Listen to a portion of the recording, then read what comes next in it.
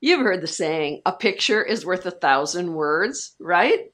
Well, some researcher decided using those if this, then that statement. Remember those from school? Well, they decided that if a picture is worth a thousand words, then one minute of video is worth 1.8 million words. Crazy, right? That might not be true, but what I know from six years of working in the industry is that people enjoy watching videos and believe what they hear in the video more than what they read.